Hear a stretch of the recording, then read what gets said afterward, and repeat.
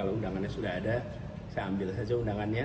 Tapi karena sekretariat kosong, mungkin teman-teman sedang kuliah, jadi saya tunggu aja. Uh, hari ini UI mengagendakan atau mengadakan acara seminar yang dihadiri oleh ex Gubernur DKI Jakarta Anies Baswedan. Utang janji uh, Bapak pada PNS pada saat pandemi waktu itu saja belum Bapak lunasi mengenai uh, pinjaman gaji para uh, para PNS yang uh, Bapak gunakan untuk menangani pandemi uh, pada saat itu. Tuhan mentakdirkan saya menjadi pemimpin di Pemprov DKI Jakarta ketika menghadapi hantaman yang luar biasa itu.